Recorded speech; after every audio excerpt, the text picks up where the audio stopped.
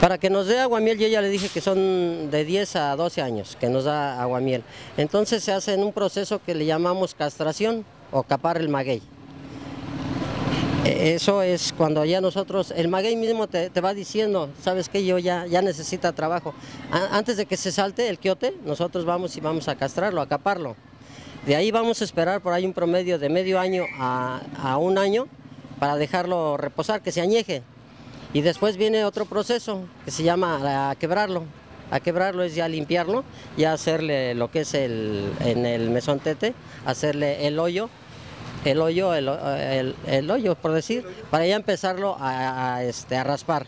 La primera semana este, pues hay que tirar esa aguamiel, hay que limpiarlo, hay que, hay que quitar toda esa aguamiel que todavía sabe a, fresco, entonces lo, lo vamos a, la vamos- esa- eso se desecha y ya después de una semana empezamos a extraer aguamiel.